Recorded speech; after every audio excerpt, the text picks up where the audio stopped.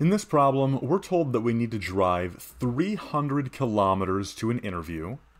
We'll draw a little distance line representing 300 kilometers. And our car has left at 8 a.m. and the interview is at 11.15 a.m. And 8 a.m. to 11.15 a.m., that is a total time window of three hours, three and a quarter hours. So three hours and a quarter of an hour, or three 0.25 hours being our total time window. And the problem gives us some information about the first part of the trip.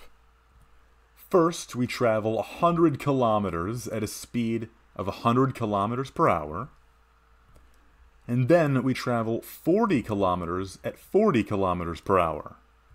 And the problem is now asking us to find the smallest speed needed to make it to the interview just in time.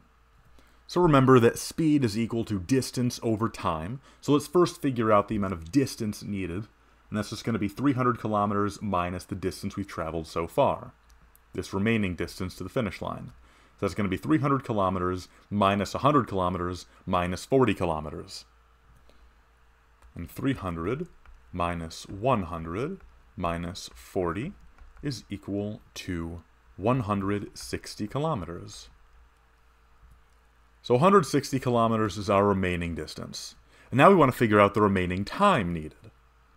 And so, from the speeds and distances we've already been given, notice that for the first leg of the journey, we're traveling 100 kilometers at 100 kilometers per hour. It's pretty easy to see from this that this first leg of the journey takes one hour. Because if it's 100 kilometers per hour, then traveling 100 kilometers is going to take one hour. For the second leg of the journey, it's going to be the same idea. If we're traveling 40 kilometers per hour and we travel 40 kilometers, that's another hour. So after these first two legs of the journey have been completed, we've been traveling for two hours. So our remaining time is going to be the total time window, 3.25 hours, minus two hours.